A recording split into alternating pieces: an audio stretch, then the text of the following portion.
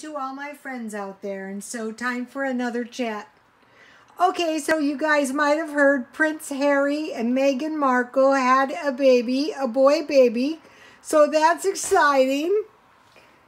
We can't know what the baby's name is yet. We have to wait a couple days for that one. And we can't see the baby yet, but uh, they say they're going to post the baby on Instagram. So it's exciting. The baby has arrived. Another royal has been born. You know, Americans are very, very fascinated about uh, the royalty. I love those. Ricky and I were excited about that royal wedding too. We loved it. We watched it. I watched it a couple times. So I'm excited. The new baby is born. And I heard a couple predictions, and it's kind of what I feel like too. And one was, uh, you know, there's more to this border thing that meets the eye. In fact, um, I don't know what it is, but possibly um, there's more to this border dispute, and they're up to no good.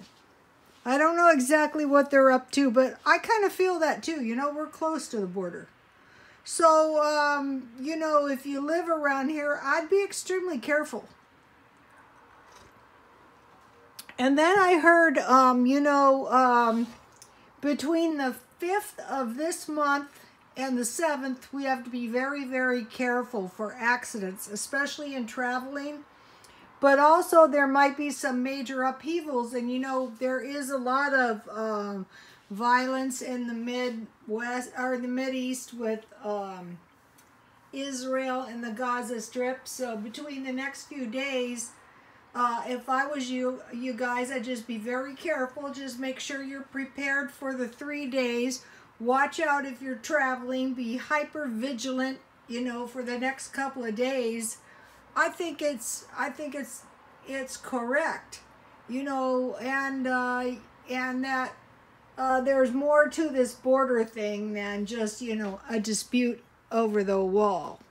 I really don't know what they're up to, but I'm sure it's not good. So, um, okay, you guys, be careful between the 5th and the 7th, and God bless you all.